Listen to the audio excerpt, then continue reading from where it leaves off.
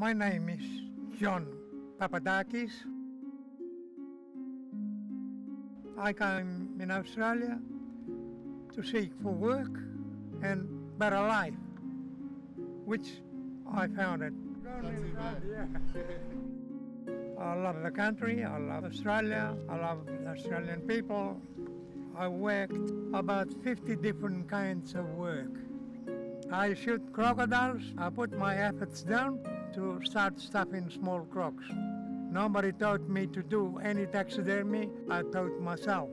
And I become the most indispensable taxidermist in whole Australia.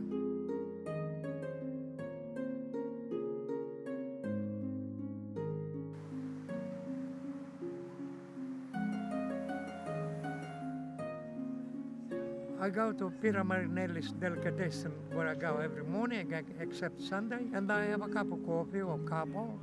I made a lot of Australian friends and the girls working there, they're good. I don't even have to go and order my coffee inside. As soon as I sit outside, they see me and they make my coffee for, for years now, since 1994. I love the coffee.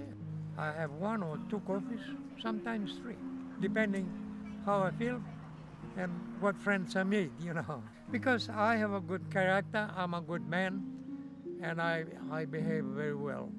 That's, that's my charisma, great charisma. I like to describe uh, and advise the young generation to try and be mimical to me.